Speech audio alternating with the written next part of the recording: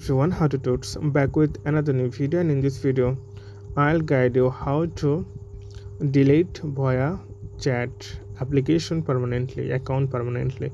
So first of all you need to open the app then tap here right bottom corner of your screen. It's a profile icon. Then tap here. Then you can see the last one settings. So this one simply tap on the settings once you tap on the settings then scroll down then you can see here delete account. Simply tap here delete account then you can read it. The account deletion process will begin 30 days after you submit your account deletion request. It means that if you want to restore your account before 30 days then it's possible after 30 days your account will be deleted permanently. So i'm just going to tap delete account and you have to uh, give them why you are going to delete so uh, i'm just uh, constant okay i'm just give the first one and i want to delete it. Okay then please type delete. You have to type delete here.